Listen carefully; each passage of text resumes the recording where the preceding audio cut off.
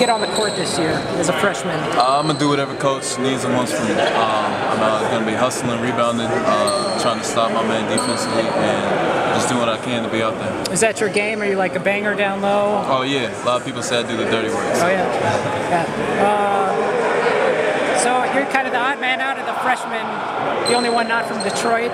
Oh yeah. What made you decide to come to Marquette?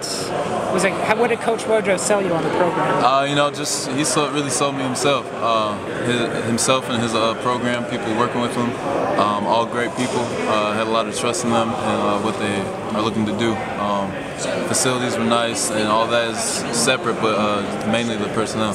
And Coach Wojo stressing defense, talking about it with every player.